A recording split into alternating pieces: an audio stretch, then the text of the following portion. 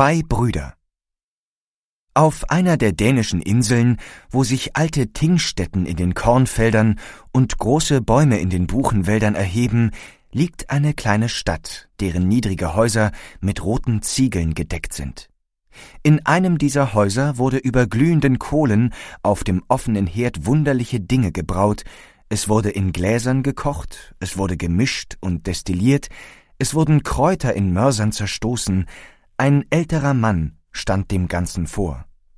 Man muss gut auf das Rechte achten, sagte er. Ja, das Rechte, das Richtige, die Wahrheit in jedem geschaffenen Teil muss man erkennen und sich daran halten. In der Stube bei der braven Hausfrau saßen zwei von den Söhnen, noch klein, aber mit großen Gedanken.